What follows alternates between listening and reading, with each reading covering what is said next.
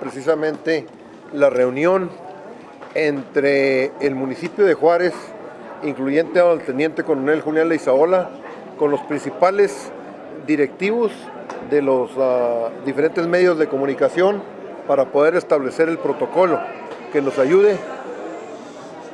a poder minimizar hasta donde sea posible cualquier evento que pueda suceder en contra de algo que yo creo que debe ser sagrado, respetar los derechos de todos y cada uno de los comunicadores, hacer su trabajo con seguridad, con tranquilidad y estrictamente apegado a los derechos humanos. En coordinación, en coordinación, que se propongan, se haga una lluvia de ideas y busquemos que todas las aristas se vayan moldeando para que sea un protocolo que verdaderamente sea práctico, efectivo y sobre todo que dé resultados.